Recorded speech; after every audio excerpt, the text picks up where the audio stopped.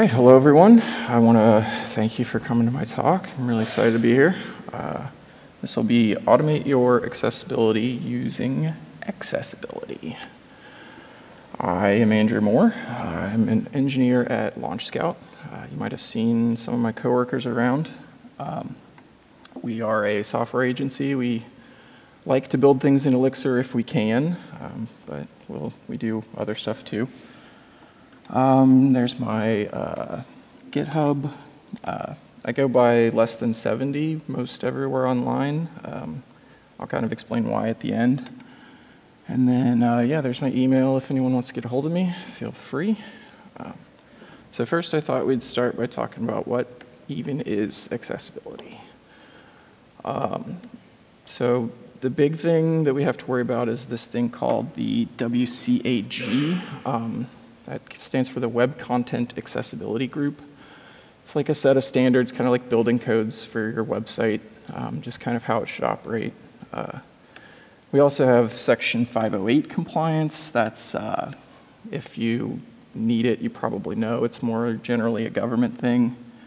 Uh, but it also includes things like um, screen readers. Uh, that's what most everyone jumps to when they first hear of accessibility. But there's more things to consider, like we also have all, um, all kinds of different alternative input-output devices.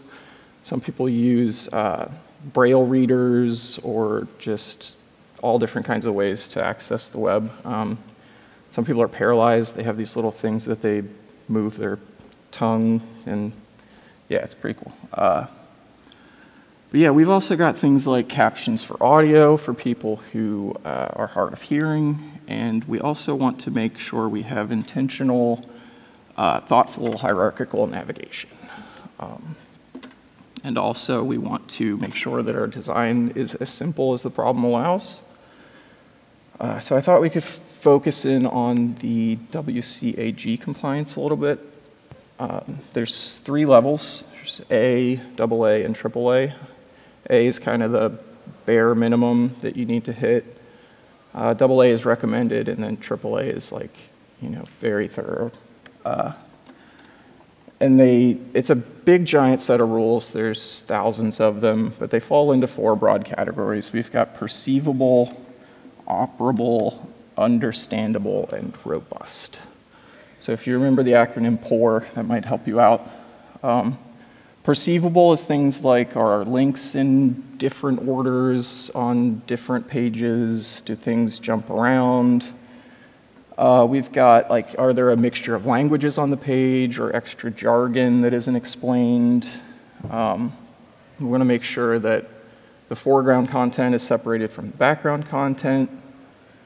Uh, operable is probably what most people think of when they hear accessibility. That's things like can we use our app with just a keyboard or uh, make sure that we're not blinking things around and causing people to have seizures and stuff like that.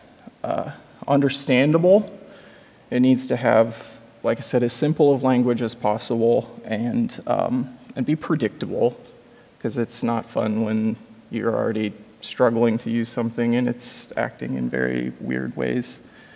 And then we also have robust. Um, we should make sure that our app works in all different kinds of browsers, all different kinds of OSs. Uh, some people have very particular accessibility preferences that aren't replicable in one environment, so we have to make sure that they're able to access our app too. Um, so yeah, basically we want to not put up roadblocks in front of our users. Uh, Things like missing or incorrect alt tags for images. Uh, if you don't have a monitor, you can't see, then an image isn't much good for you, so the alt text kind of describes what it's for. Uh, we've got in, inaccessible forms, that's another big one. Uh, things need to be labeled and named properly so that the screen readers and things can pick them up. Uh, we've got things like poor color contrast, that's a big one. Um, and, and, like I mentioned, inaccessible navigation. If it's just weird or changing or the hierarchy doesn't make sense, it's not exactly helpful. Um, so at Launch Scout, we wanted to kind of do something. Our designers did very manual accessibility checking, but we wanted a way to kind of automate it. We explored a lot of different approaches around kind of a hands-off approach um, check everything all the time. And it was not exactly the most ideal way to tackle the problem, so we came up with this library called Excessibility. Um, and basically what it does is it ties a JavaScript tool called Pa11y to your ExUnit, Wallaby, and LiveView tests. Um, you can give it anything, and what you end up with is uh, basically a snapshot of the DOM at whatever moment in time during your test. Uh, it gives you control over what to test and when, instead of testing the same page 8 million ways by some automated approach, we can kind of be more methodical. Um, and you can uh, use it both locally and in CI, so you can have your uh, CI pipeline fail if you have Excessibility problems, if you desire. Um, so yeah, basically how do I use it? Um, we've got, it's basically just a macro. When you use accessibility, you get an HTML snapshot function. Um, like I said, you can pass it basically anything. Um, if you're in a Wallaby test, you can give it the session. If you're in like a controller test, you can give it the Phoenix Conn. If you're in a live view test, you can give it a view or an element. Um, and like I said, what you end up with is a snapshot of what your DOM would be. Uh, so it does some magic behind the scenes to tie in your asset pipeline and things like that so you get the right styles also. Um, and then the other half of it is a mix task that when you, you run your tests, you generate your snapshots, and then at the end of your test run, you run this mix task and it'll pass all those snapshots to that Pa11y tool and it will um, check them for some common accessibility fails. Uh, so let's see if we can get an example of how to use this. I've got, uh, if I can pull it up.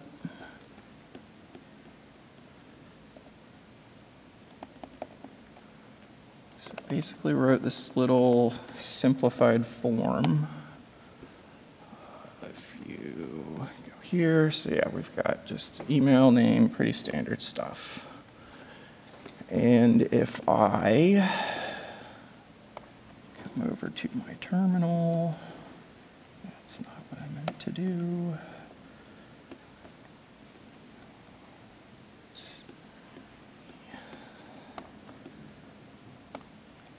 I'm going to go into the repo for that app there, and I'm going to run mix test. Actually, I'm going to make sure I'm on the right branch.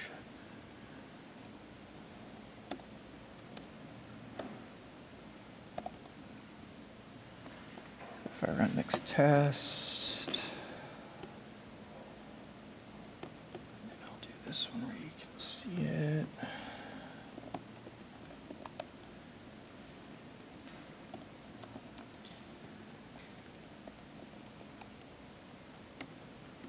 So if I run mix excessibility after my test run, we will see a big old fail.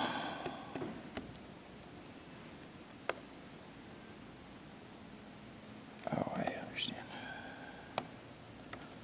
So we have to run it in the mix test in, uh, mix test environment, and then we'll get what we hope for we should see big list of fails. It looks super complicated, but it will tell you basically the exact WCAG rule that is failing. You'll get a selector of which element is causing the fail.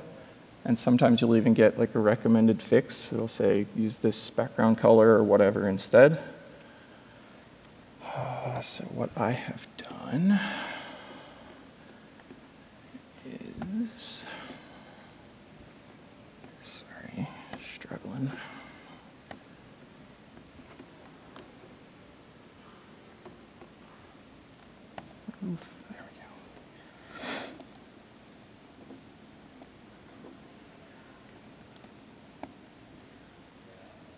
So we saw that uh, there was a bunch of uh, color contrast failures. We had some uh, a missing alt text on our image.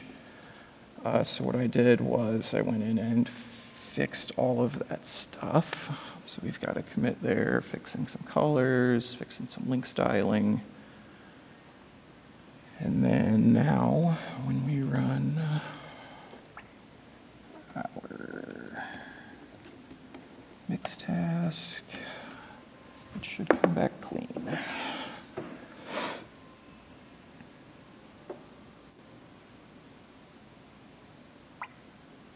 And of course it doesn't. Oh, I understand why. Sorry, uh, I have to delete the old snapshots and regenerate them.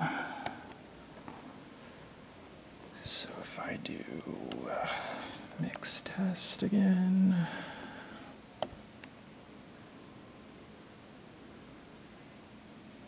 And then run excessibility.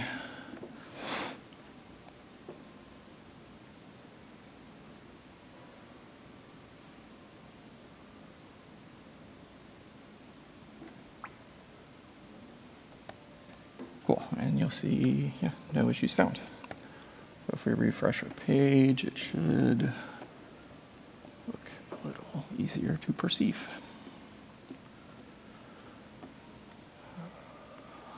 So yeah, that is basically that. Um, so what else do we need to do? Uh, an automated tool isn't going to catch everything. Uh, so one of the most important things that we can do is conduct user testing. If you can get your application in front of an actual, uh, sorry, there we go. If you can get your application in front of actual users with these problems, you're going to learn a lot more than you ever would by any automated tool. Um, make sure that we're using plain language. That's another one that this isn't going to catch. Um, it's, it does some, does some looking for like certain abbreviations. If you're not uh, explaining what they are, it will catch that. But complex language, jargon, that kind of stuff, we always just need to be on the lookout for.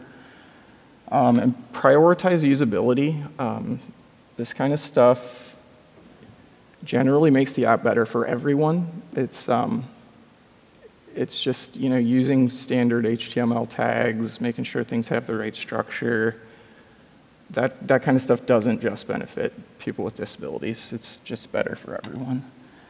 And uh, yeah, like I said, just um, design with empathy and understanding in mind mostly. Um, I told you I would tell you why I'm less than 70 everywhere. Uh, I actually it's a little known fact, but 70% of people that have a visual disability are unemployed. It's like exceptionally difficult to get around and work and do stuff. Um, I am actually in the lucky 30%. I have a degenerative eye condition, so I like to think that things like this and just designing with a little more understanding in mind can lower that number a little bit.